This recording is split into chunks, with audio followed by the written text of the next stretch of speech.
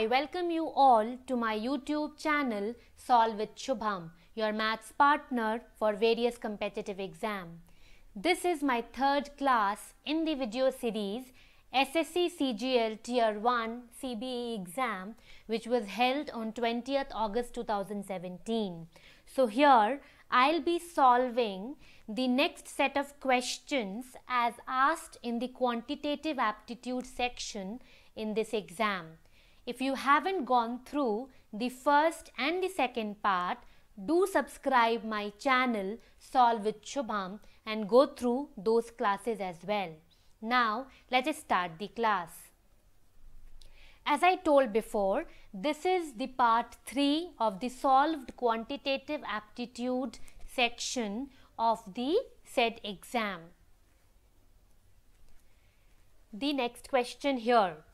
If minus 1 by 2 into x minus 5 plus 3 is equal to minus 5 by 2 then what is the value of x? You have been given four options.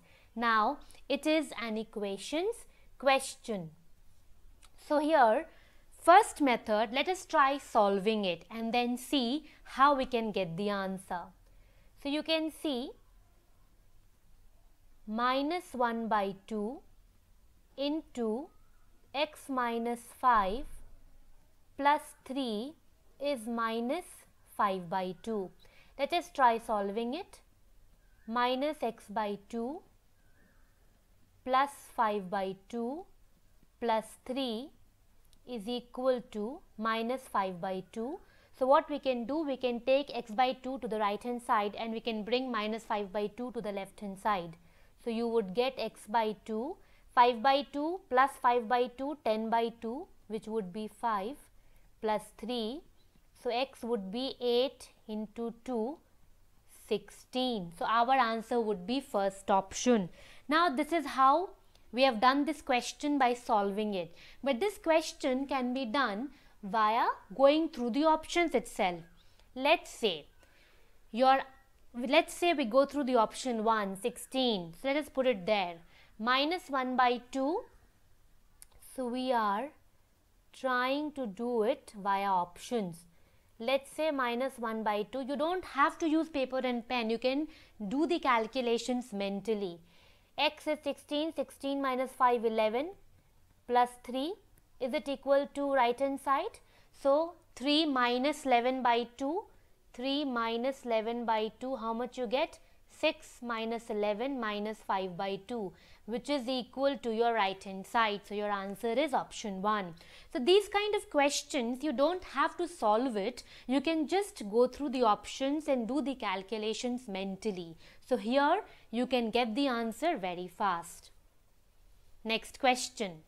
If a minus b is equal to 1 and ab is equal to 6 then what is the value of a cube minus b cube? This is a numbers question. You have been given four options. Now here guys, if you know the formula, then it's a very very simple question. So what is your formula? a cube minus b cube is nothing but a minus b the whole cube plus 3ab a minus b you just have to utilize this formula and get your answer. So a minus b whole cube would be 1, 1 cube plus 3ab 6 into 3 18 a minus b is 1. So your answer is 19. Your answer is option number 3. Very simple question. If you knew the formula, you can do it in a fraction of second. Next question. A number is greater than 58 times its reciprocal by 3 by 4. What is the number? You have been given four options. It is a numbers and equation question. So this question also you can go through the options and then try doing it. Let us first try solving it. So you have a number, let's say x. It is greater than 58 times its reciprocal. Its reciprocal would be 1 by x 58 times this is 3 by 4 so when you try solving it that would become a quadratic equation and then you can try solving that so when you are solving it let's say how does it become it will become 4x square minus 3x minus 232 is equal to 0. So these are big numbers and you can solve the quadratic equation but this would take a lot of time. So what I would suggest is go through the options and then solve it. This will save a lot of time. Let's say your answer is option number 1. Let's say. So it would be a number is greater than 58 times its reciprocal. So number is minus 8. This is greater than minus of 58 times its reciprocal. You should get 3 by 4. So this would give you minus 8 plus 58 by 8. So how much you would get it? This would come something as 8 into 7 56 7 point something so minus 8 plus 7 point something will give you negative but you want positive 3 by 4 is positive so option number 1 is ruled out so let's try for 8 option number 4 so it is 8 minus 58 by 8 what would you get? 64 minus 58 by 8 you would get 6 by 8 which is nothing but 3 by 4 so what is your answer? Your answer is option number 4 simple question. If you try doing it by solving it solving the quadratic that might take a longer time so it is good to go through the options and then solve it next question what is the sum of the first 13 terms of an AP arithmetic progression if the first term is minus 10 and last term is 26? You have been given four options. It is an arithmetic progression question.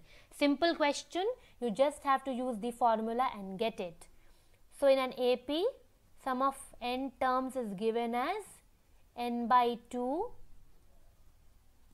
your first term plus your last term. So you should remember the formulas clearly. So you want to find out sum of 13 terms. So 13 by 2, you know the first term, you know the last term. So 13 by 2 into 16. You get the answer as 104. Your answer would be Option number 1. Simple question. You just have to remember the formula. Next question. What is the reflection of the point minus 0.5 into 6 in the x-axis? You have been given four options. It's a coordinate geometry question. Again, a simple question based on a simple concept. So, let's draw. This is your x-axis this is your y axis this side you will get minus this side you will get minus y so you have x coordinate as negative which means on the left hand side and y coordinate as positive which means above so somewhere you will get minus 0.5 into 6 you want the reflection. So reflection would be here. This is your first quadrant.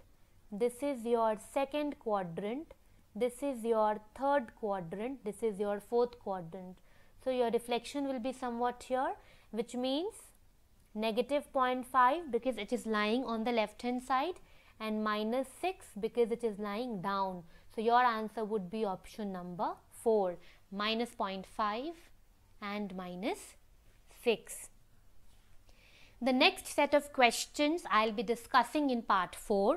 If you have any doubt, you can reach out to me at my mail, my Facebook page, my Instagram and my blog. Do subscribe my channel and go through the previous classes as well. Stay tuned for part 4. Thank you.